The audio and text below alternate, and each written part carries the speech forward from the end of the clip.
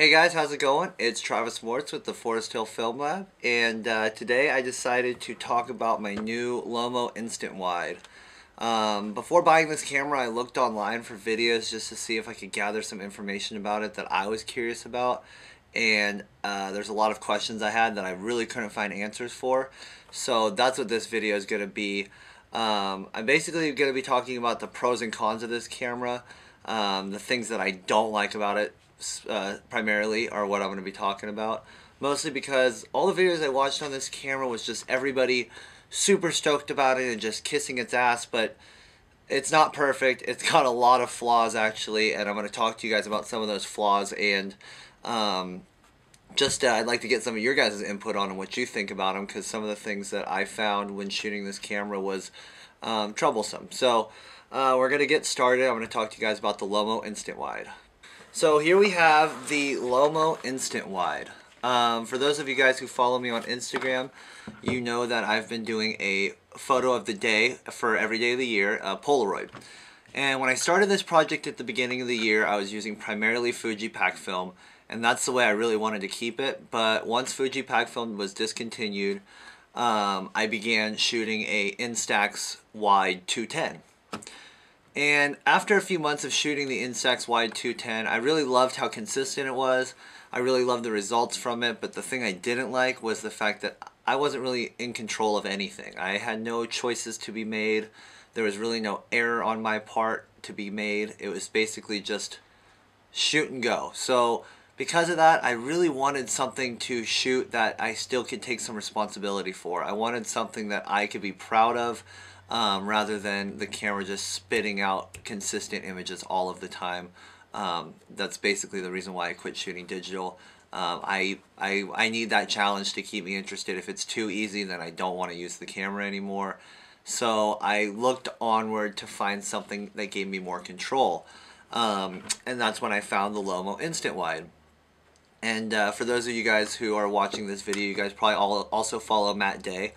And uh, so I watched Matt Day's Lomo Instant Wide video, and it really inspired me to want one. I really thought, man, this camera is so capable of you know all the things that I'm missing with this Instax camera. So um, some of the features that it has are excellent. It's got a ranging focus, so instead of um, the two different ranges that the Instax had, which was like one meter to three meters and then three meters to infinity this actually has a ring, a dial. So that was really nice. I liked that. Um, I also liked the button on the front. Um, a, a, question I was wondering, but I never had answered, was how quick the photo is actually taken after pressing the button. We're going to talk about that. Um, so I really liked the fact that the button was on the front. It seemed like it would be a little bit easier to use. The the Instax 210 is a little funky. Um, and then when we go to the back here, this is what really drew me in. This whole control panel here with all these different options and things I could change. So Lomo advertises manual mode or manual capability. And that's because they have a 1 30th of a second shutter speed down here. So they say that that's manual. But that's not manual because we have to be able to also choose the aperture if we're going to choose the shutter speed. And we don't have that choice, so it's still a crapshoot if we're shooting a 30th of a second. Who's to say that the aperture is going to be correct? So um, that was a little funky for me. Um, we have bulb mode. This was a huge, huge perk that the uh, the Instax doesn't have. It doesn't have any way of shooting longer exposures. So I really like that about the Lomo. Um, and then here we had auto mode, of course, and the multiple exposure mode. These are all great things that add artistic um, abilities and you could now get more creative with this camera and I liked that. I really liked the ability to be more creative. Um, so, oh and then lastly the flash button. You could choose to have the flash on or off and it would actually stay off. With the Instax Wide this was an option but it would not stay off if the light got too low. It would still fire flash and that was a huge problem for me. Um, but because of that, I basically only shot the Lomo or the the Instax wide in broad daylight. I tried to keep my exposures relatively sunny to get great results, and that I did. The the Instax 210 was an excellent camera for perfect results every time. Now, here's some of the problems I have with the Lomo. now we're going to talk about. I, I told you about some of the features. Here are some of the problems I have with it. Um, we're going to start out with the focusing ring because I told you guys I really do like the fact that there's a focusing ring on here. I really do like the fact that I can focus in between spaces. But you'll notice if, I'll read it to you, I'm not sure if you guys can see it, but it says 0.6 meters, so that's about a foot and a half. And then this next stop is 1 to 2 meters. Now, that's either what's either one meter or two meters. It's not both. It's not either three feet or six feet, and that that's a huge problem for me because now when I'm shooting a subject, what the hell am I supposed to set it at? Am I what if they're one meter away? How, how I can't feel comfortable setting it on the one to two meter range because I know that if this is one to two, then one really should be a little bit before it. Um, and I'm wondering why Lomo, if they if they made a, a lens that could give in between spaces, if they made a lens that's a dial like this, why they couldn't put real distances here, I don't, I don't quite understand. It, it's really frustrating for me. Um, now I'm gonna have to put a piece of ground glass in this camera, open up the lens, and I would like to figure out what these distances really are because now it says infinity. Well, what's the last step before infinity? Is it like 10 feet to infinity? Is it 8 feet to infinity? When do I put it on infinity? Because my last choice is 3 to 6 feet infinity. So um, I really wish I knew what the balance was because this is a camera that you can get out of focus. Um, and I'll explain why. So we'll move on. So that's one thing that kind of irritated me. I wish that if we have this wonderful focusing ring that has in between steps um, between the you know decided distances. Why isn't there a more extensive scale? We're all human beings. We understand what distance is. Why couldn't we have had a one foot to 10 foot scale or whatnot? So that's a little troublesome with me. And then, um, so here's the other thing that bothers me. Um, let me get a piece of paper. So here I've got all these shutter speeds and stuff. I'll have to add one or two. But this camera has two different apertures. The two different apertures are f8 and f22. Excellent. So we've got two different apertures of f8 and f22 and the camera decides that. And then we also have uh, a shutter speed range up to 250th of a second. So that's a little troublesome for me as a photographer because I know my rate, I, know my exposures, and 1,000 at f16 at 800 ISO. That's sunny 16, right? If it's broad daylight outside, this is what our exposure should be if we're shooting with 800 ISO film, right? So if this camera only does a maximum of 250th of a second, that's one stop, two stops, and it only goes one stop aperture wise, what does that tell us? That tells us that if it's sunny outside, this camera cannot take a good exposure. And that pisses me off. Um, I don't understand why Lomo didn't do this sort of math that I did, but because of this, every time I'm shooting in broad daylight, like sunny, sunny daylight, these pictures are not dark enough. They could be darker because we're not really shooting a sunny 16 exposure. We're always shooting plus one stop. Um, so that's something a little troubling with me because I always put it at the minus one setting when I'm shooting in daylight because I know this. So if I was shooting at the zero setting, would this camera be overexposing two stops? Uh, I don't know, and that's troubling for me. I don't understand why um, this camera doesn't have maybe a smaller aperture or a faster shutter speed to compensate for broad daylight shooting. I mean, come on, that's when we want to take the best pictures, broad daylight. So um, that's another thing that's a little bother uh, bothersome for me is like, can we really get a sunny 16 exposure out of this camera, or should we always be shooting in cloudy situations, which um, I'll touch base on next. So that's another issue. Like I said, everybody who posts a video about this camera talks about how great it is because it's groundbreaking as far as Instax wide film goes. But as far as the camera goes, it's uh, I wouldn't say it's a disappointment, but there's definitely some things that need changing. So um, let's move on to the next thing. And we'll talk about the bulb and 1 30th of a second mode. Okay, so I told you guys that the this camera has two different apertures. Now, the problem with it having two different apertures is that now there's two different variables happening within the camera to make a correct exposure. So you have the camera's meter, which is right here. So you have the camera's meter determining, should I shoot this at f8 or should I shoot this at f22? And then once it determines that setting, it's also going to assign our shutter speed accordingly. So this seems like it's pretty pretty foolproof. Like, you know, there's a pretty good system for exposure, right? Um, but no, it's not because what I found is when I'm shooting in shade into sunlight, which sometimes happens, the light that's hitting my exposure meter is not enough light for the camera to stop down to 22. So now it's shooting at f8 primarily because it doesn't have direct light on it. And as I mentioned earlier, my max maximum shutter speed is 250th of a second. So now if I am shooting any sort of subject with sunlight on it and there's not sunlight on my camera, this camera is overexposing every single time. Every single time. So now if I'm outside shooting in shade, almost every time this camera is shooting at f8 when it needs to be shooting at f22 and maybe a different shutter speed. So here I'm going to demonstrate to you guys exactly what the hell I'm talking about with bulb mode. So here I have my light. This is the light I used to film with. You know, you guys, pretty bright. And I have it on bulb mode. And here's another problem. When this camera's on bulb mode, and when this camera's on 1 30th of a second mode, it still determines the aperture based on the amount of light hitting the camera. So even if you have it on bulb or 1 30th of a second, you still don't know what the hell your aperture is going to be because it's based on what the camera wants it to be and you cannot change it. So here we go on bulb mode. I don't know what, what aperture it's going to go, go at, but I'm going to tell you. So this is f8. And if I turn the camera a little bit up to the, to the light, just a little bit, f8, and let's see, f22. Why?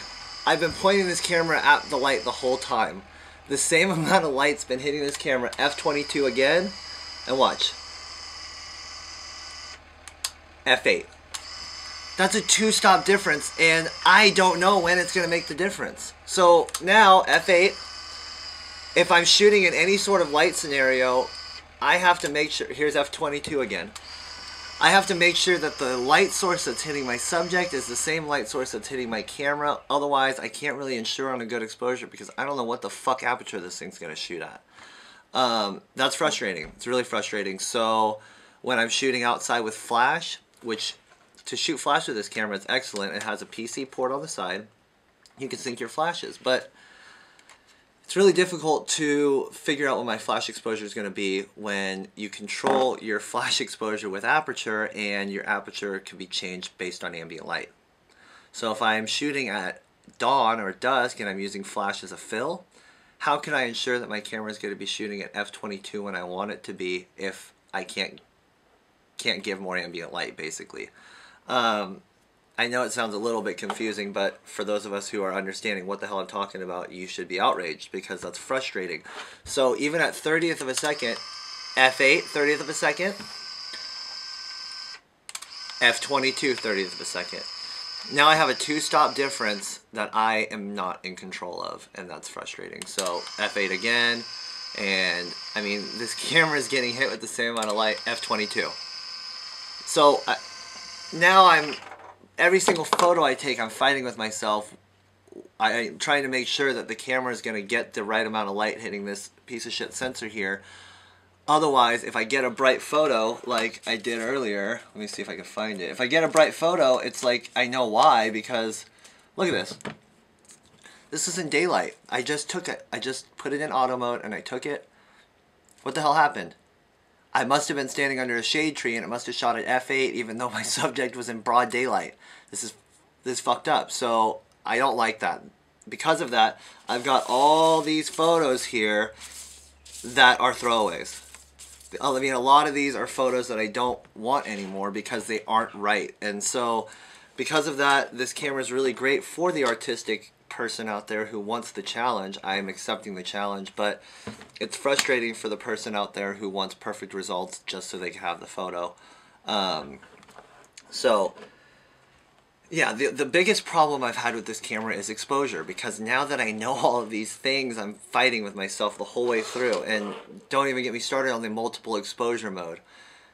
How the hell can you make multiple exposures when you can't actually control your exposure? So when I turn it on the minus one, like you should do for multiple exposures, it should work out that I'm underexposing both frames and they come out right. But more often than not, this thing ends up shooting it at f8 for both frames and overexposing the hell out of every double exposure. Um, here's a double exposure overexposed. Here's a double exposure overexposed. Um, you know, these are the things that are frustrating. Um, so I'm now I've started to put a polarizing lens on here if I'm shooting in the shade. How weird is that? The only reason I'm doing that is because it overexposes in the shade because it shoots at f8 when it should be at f22 because this is 800 ISO film. Um, so yeah, that's the that's kind of my take on the Lomo Instant Wide. There's there are a lot of great things about it, but the few things that are bad about it are really bad. I feel like I you know the kinds of results I'm getting are they're fine, but they're not what I want. Um, here's a great example. You know, this is this is shot this was the first photo i took with it and i liked it but i was just like it's too bright. I mean why is it so bright? It could have more contrast. It could be a little bit darker. And that's kind of been the general consensus with all these photos is that they end up being too bright. You know here's one shot in shade. Here's a this is a double exposure. That's not so bad but you know that's um, the difficulty i'm having and then not to mention um, the instax 210 that i usually shoot it shoots at a native f14, so more often than not, the photos from that have been sharper than this camera. So if this camera is not going to be the sharpest camera on the market, I at least want it to be more consistent than the sharpest camera on the market, and it's also not. Um, the automatic mode is dog shit as far as I'm concerned. Um, and that's kind of what I wanted to tell you guys. I, uh, I didn't really want to make a opening the box video or any of that stuff. I wanted to shoot the camera and kind of find out the things I didn't like. Um, let's see. Okay, a couple more things I wanted to talk to you guys about. Um, the shutter. So I was wondering when I was going to buy this camera, is the shutter button instantaneous? Um, I I have a couple things, a couple pieces of criteria that I like when I'm buying a camera, and it needs to be able to stop action, and it needs to be able to stop action when I press the button. Um, the Fuji Instax was terrible at this. It had such a delay time that shooting BMX was near impossible, and additionally, the shutter speeds would always be too slow. So I like that about this camera that it shoots up to 250th in daylight, despite the fact that if it's in broad daylight, it will be a bright photo. Um, and then the other thing about this camera that I like is, although the shutter button I wouldn't say is instantaneous, it's pretty damn close. So I'm going to show you guys a couple different times for the guys out there who are also wondering this so you could get a good idea because I didn't get to see this. So um, we'll go like this and I'm going to press the button a few times very obviously so you guys can see how quick exactly uh, the, the shutter fires when you press the button. So here we go.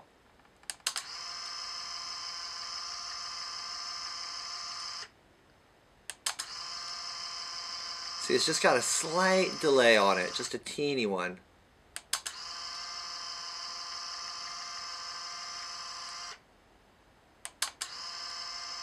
So as you see, the the shutter speeds are changing with the exposures. That's kind of how this camera works. It, it determines its aperture and then it sets the shutter speed accordingly. That is why the biggest problem with this camera is it doing a bad job of choosing its aperture. Um, basically choosing f8 when it's supposed to be 22 is the biggest issue that I've been having. Um, and it's almost impossible to find out what the camera is going to decide because it's it's the camera and it, it's in control. So um, that's kind of how instantaneous the button is. I just want to show you guys that because that was a question that I had when I was shooting it. Um, but as far as the PC sync goes, this was one of the biggest reasons why I bought this camera and it works excellent. Um, and when you're shooting with flash at nighttime, the 30th of a second sync speed doesn't ever seem to um, affect quality of the photo. I was stopping action no problem using the flash power rather than the camera's shutter speed. Um, so that was really neat, uh, just being able to shoot flash at nighttime. But like I said, I haven't really tried shooting it at dusk yet because I don't know how frustrated I'm going to get if this thing keeps shooting at f8 all the time and I need it to be at f22. Um, it's like you could cover this thing up to choose f8, but you can't add light to the camera to choose 22. So uh, I wish there was like one more extra toggle switch, like f8 or f22, because then I could be more in control of my exposure. I don't want this thing changing one variable when I've decided that I want my shutter speed to be 1 30th. It does me no good if this thing's going to choose whatever the hell aperture it wants. Um, let's see, I'm not really sure if there's anything else I really need to talk about with this camera. The results from it have been pretty good. Um, it's like golden hour. The best time to shoot is the fucking hardest because I can't put my back to the sun. Because if I put my back to the sun and the sun on my subject, my camera doesn't get the light that it needs to expose the photo right, and they either end up washed out or a silhouette or some shit. So that has been like the biggest issue. Is like I can only shoot when the sun's high in the sky and hitting my camera, because once the sun gets low in the sky, I can't shoot into the sun, silhouette. I can't shoot away from the sun, overexposed and it makes me want to throw this camera into the ground. So, um, anyways, I'm going to keep shooting with it. I'm still doing my 366 project uh, photo of the day. This camera has made it a lot easier. I'm, however, blowing through film like a madman because of my results not being so consistent. That's a bit frustrating. But um, aside from that, I am having a good time with the challenge, and I do feel a little bit more accomplished when the photographs come out good because it's such a pain in the ass for that to happen. Um, and yeah, I would recommend this camera to anybody who wants to be more in control of your photos, but also somebody who's patient and doesn't mind wasting film because, you know, a lot of these exposures, I didn't choose these exposures. There was enough light out here to expose these photos and they weren't being exposed. And here, this is like, I put a polarizer on to try to make the exposure come down. Um, so, yeah, I mean, there's some perks. I mean, look at, this was, um, somewhat of a long exposure. Obviously, it chose f8 instead of f22 when I need it to. Um, so you know, there's there's definitely perks to this camera. It is a great camera for the artist out there. It's not, however, a great camera for someone who wants good results every single time. I would recommend buying a cheaper Fuji camera. It's going to save you more money in the long run on two different platforms. Um, but anyways. I've got some film to develop. I just really wanted to make this video for you guys and uh, try to make it short and sweet or maybe long-winded. Um, but anyways, that's the Lomo Instant Wide. That's kind of my take on it. Tell me, guys, tell me what you guys think about some of the stuff I mentioned here. Tell me if you're as outraged as I am. Um, but either way, until next time, thank you guys for watching and keep on shooting.